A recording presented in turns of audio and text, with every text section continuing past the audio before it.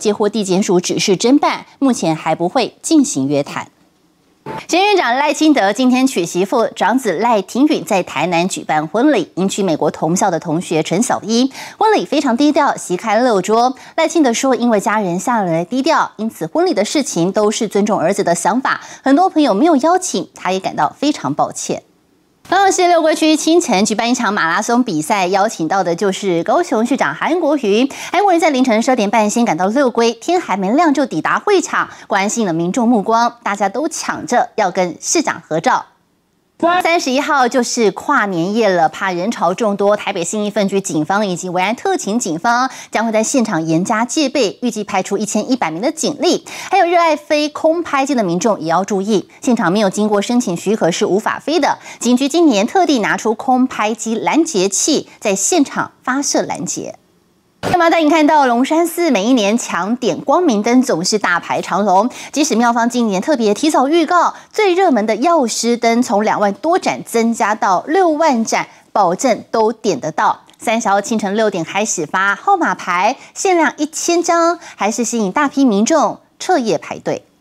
好，接下来关心，为了防堵非洲猪瘟病毒入侵台湾，防检局加强宣导，对违规期待肉制品者加重罚款。有 YouTube 和家人到厦门玩，买了两条香肠加工品回台，当时没被检验出来，事后又要拍开箱影片，才想起香肠不能入境。他知道自首不会被裁罚，所以把香肠缴回防检局的这一段过程拍成了影片。连线记者黄永新。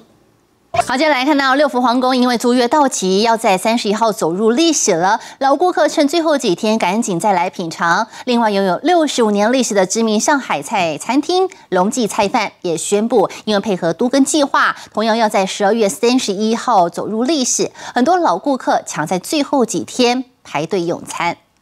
泰国超夯的流水虾吃到饱，现在台中也吃得到了。近期有业者引进媲美曼谷夜市的海鲜吃法，打造紧邻餐桌的十八米玻璃 LED 水道，配合灯光变化，超级酷炫，让顾客伸手就可以夹起活跳跳的泰国虾，现捞现烤，吸引大批民众尝鲜。来到新闻现场来看到，中国一辆牵引车行驶途中，车上用来绑钢板的麻绳断裂，导致钢板掉落，恰好砸到跟在旁边骑单车的男子，造成男子当场不幸死亡。刚水底寮有一间饮料店被一名男子登门呛虾，因为男子怀疑女朋友和店员有感情纠纷，找不到人就怒砸饮料店出气。转镜头来看到五月天人生无限公司第四场演出，邀请到的是黄子佼担任嘉宾。那么在台上呢，双方互亏你来我往，看得出好交情。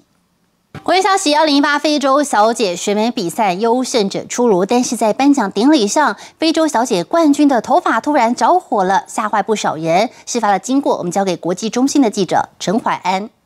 二零一八年即将要结束了，日本平成时代也要迈入尾声。适逢平成最后一年，业者们摩拳擦掌，推出各式年节料理，竞争非常激烈。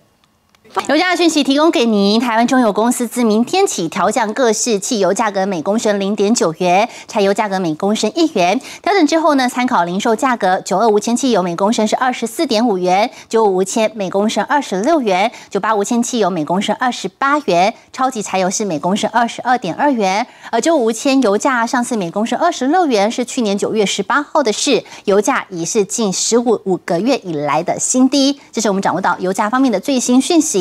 好，即将要迎接二零一九年了，也要来关心的就是很多银行呢，在明年要把各项信用卡福利减少，像是道路救援的次数减少了，部分银行也把机场接送服务都取消，还有许多银行的现金回馈红利也跟着变少。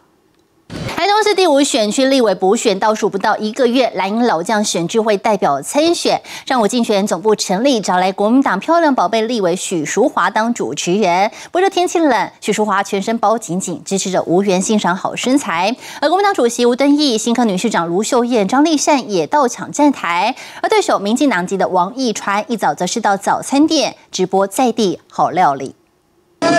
新北市三峡陈福山区野溪，昨天警消获报发现男性遗体，死者全身脱光，只剩下内裤，还有些微淤青以及擦伤。家属供称，他积欠了六百万债务，无力偿还，可能是遭人杀害。不过经过警方的调查，死者留有遗书，内容表示对不起家人。初步调阅监视器，也没有发现外人陪同，不排除是轻生。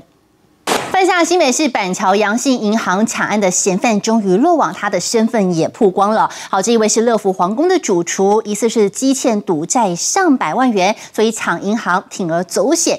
那么犯案的当天呢，他是请病假抢走阳信银行三百三十四万元，隔天就拿着九十万的现金去赎回典当的宾士车，而且呢没有异状的隔天是照常上班。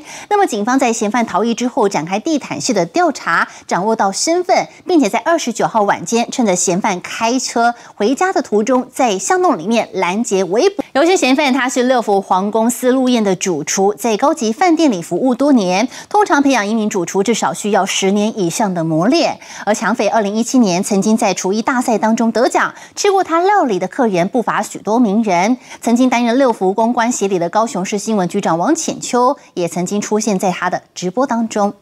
连续假期碰上湿冷的天气，民众出游，很多人喜欢转往到室内，像是去看展览。从日本来的角落生物吸引不少的人潮，光是要拍照必须等上三十分钟。另外一边米奇特展人气也高得吓人。好莱坞女星安吉丽娜·裘丽最近参加广播节目，似乎透露了参政的可能性。连线给记者徐小晴。美国遭到冬季暴风来袭，多处下大雪，吹起强风，交通瘫痪。恶劣的天候也造成六人不幸死亡。新闻最后带您一起来关心，也感谢您收看今天的午间新闻，我是丛慧云，我们稍后再会。